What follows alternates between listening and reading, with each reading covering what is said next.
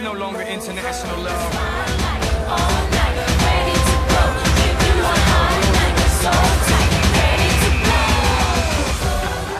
Whatever happens in the end. What up guys, this is Moss from Ion Cydia, and I just wanted to mention that if you want to learn about awesome new Cydia tweaks every single day, then you should probably go hit that awesome little subscribe button down at the bottom. So, let's get to the tweak.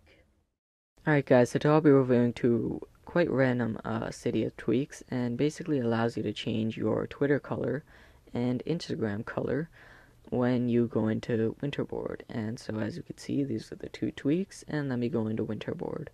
So when I go into Winterboard, um, once it loads up, it gives you quite a few options as to what default background color you want on either Twitter or Instagram. And as you can see here, that gives you yellow, red, purple, and green for Instagram, and for Twitter it gives you the same uh, same colors, but it also gives you blue. I mean purple. But this is cool, and here's a little example. I'm not going to load up Instagram completely, but as you can see here, it's sort of a purplish blue color.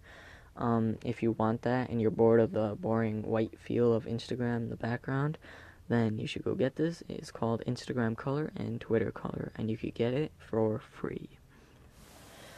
Alright guys, that's going to be it for my video. I hope you enjoyed it. If so, please go ahead and click that like button. And if you have any questions, um, there's a comment section below, or you can message me. Um, I make Cydia Tweak videos every single day, so you should go ahead and click that awesome little subscribe button. Um, if you ask me, that button should be a lot bigger. And um, that's going to be it. That is me logging off.